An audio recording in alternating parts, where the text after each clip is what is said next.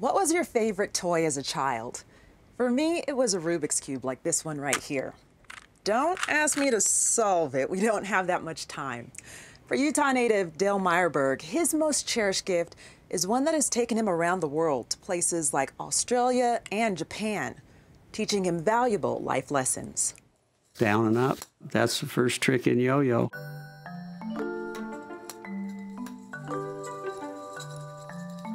Let me introduce myself, folks. My name's Dale Myrberg. I'm Utah's own world-class yo-yo man. I thought it looked like an incredible toy. He's a mean dog. Ouch! That's a dog bite. I didn't believe that you could make something go down and up like that. I've since learned that you can make it do a lot more than that. Especially when you combine this small plastic toy and the malleable human spirit. Life's a pretty special thing. It's really nice. It has its ups and downs, literally. My brother brought a yo-yo home. He was, I think he, he was 14 and I was five years old and he'd borrowed it from a friend and I was intrigued by it. I was a little skinny kid and I wasn't good at sports or anything like that. And I picked the yo-yo up and immediately had a dream of becoming a yo-yo man. This trick, the two-handed loop-the-loop, is Dale's favorite. There's just something about this steady stream of sound. If you close your eyes, you might be able to feel it too.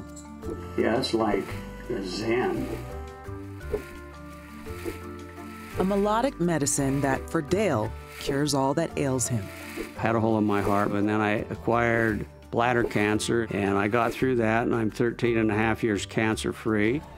Yo-yo still in hand.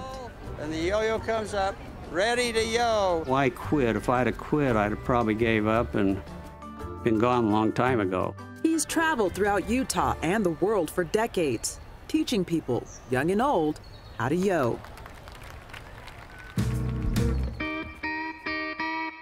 The traveling yo-yo men that traveled around with Duncan Yo-Yo back in the 50s, they took a shining to me and they taught me a lot of tricks that they wouldn't teach everybody because I picked them up pretty quick. This is the first string trick I ever learned. The brain twister, round and around, one, two, three. I was always really nervous when I competed.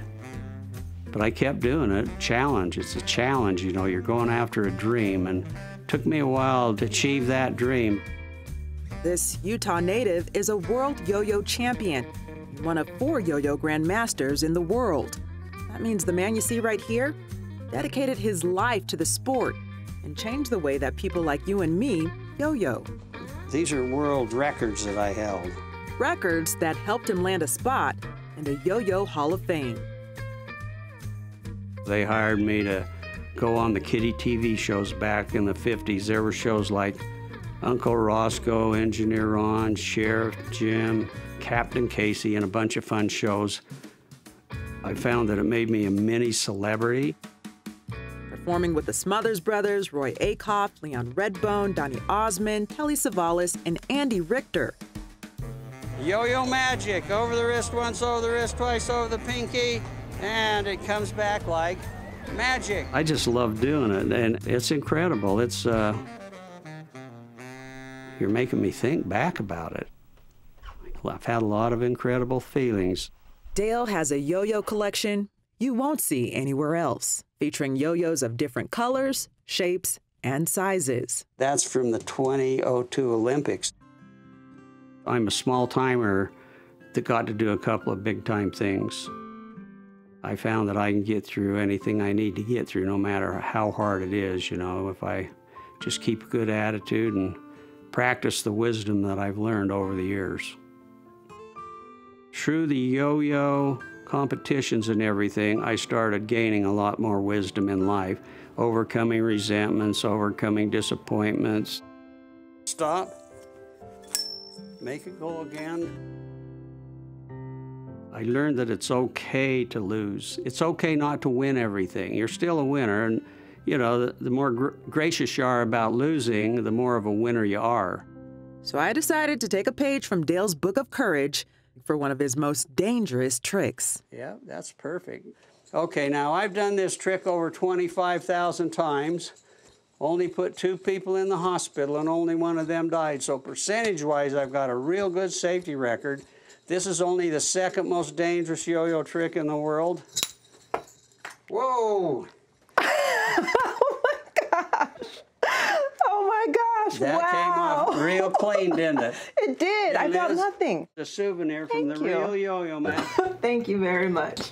You're in good company. I'm not going to quarter off of uh, Governor Matheson, Governor Leavitt. This is Governor Bangerter, and he actually got a little mad when I started moving in with the yo-yo, and he had this great big giant security guard really watching me. I never hit any of them, although there's some politicians I'd like to have hit. I'll take as many tries as I want. Today, you can find Dale at Snowbird Oktoberfest, How many chances do I get? Thank you, you're right. where he's performed for more than 30 seasons. How old are you? Five. Oh, that's how old I was when I first picked a yo-yo up. Five two. They don't think they can do it, but I can teach them. I'm a national grand master, and that's what a master's supposed to do, is what I was taught, teach their students to be better than them. It Just makes me feel really good to prove that I can teach little kids like I was.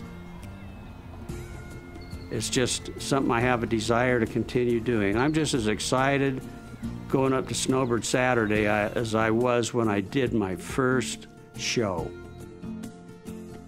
Oh, I love looking at this. It's good memories. It'd be nice if everybody could have a room like this filled with something that they love.